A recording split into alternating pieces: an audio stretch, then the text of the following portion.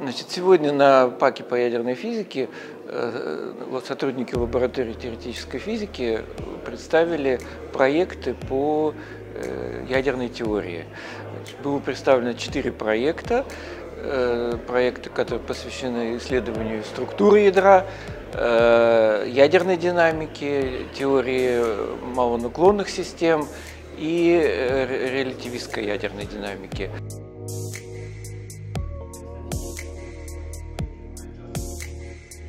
Ближайших планах у нас э, ну, разделить нашу научную деятельность на несколько проектов, на несколько тем, и несколько, каждый из них на несколько проектов. Но самый важный, наверное, из них это будет все-таки попытка синтезировать 119 и 120 элемент.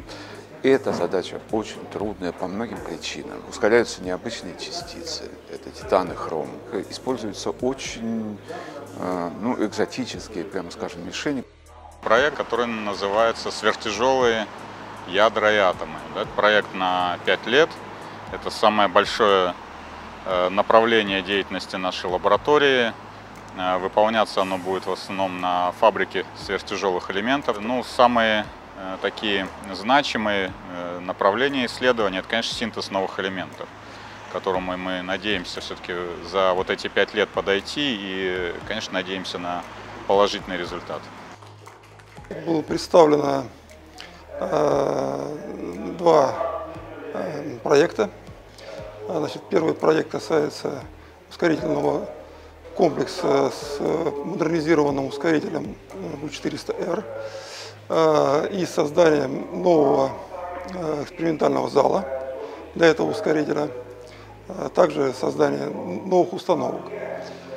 И значит, вторая, второй проект он посвящен развитию э, экспериментальной базы э, фабрики сверхтяжелых элементов.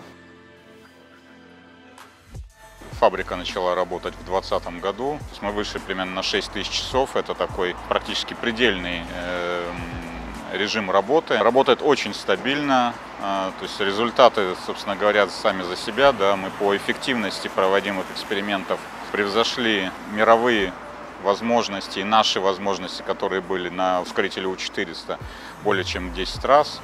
Это и новые изотопы, и уже их 6 штук получено, да, и кратное превосходство по количеству получаемых атомов. Просто это открывает очень такие широкие перспективы для будущих исследований и для настоящих исследований. Уже просто из первых экспериментов мы получаем новые результаты, те, которые ну, было либо сложно, либо, в общем-то, невозможно получить ранее. Есть, э, мы собираемся исследовать другие очень интересные способы для того, чтобы подобраться к неизвестным, неисследованным властям карты изотопов, получить новые изотопы. Вот. Для этого э, ну, нам нужно, во-первых, э, модернизировать циклотрон, один из циклотронов, это У-400, а во-вторых, построить, построить новое здание. Это гигантское, это большое очень здание. Это большое здание, которое, должно, которое уже начало строиться, и будет вот, строиться, это будет продолжаться три года, поставить туда новые установки, э, ну, и начинать там новую жизнь. Ну, в общем, это, это ответственно, это тяжело.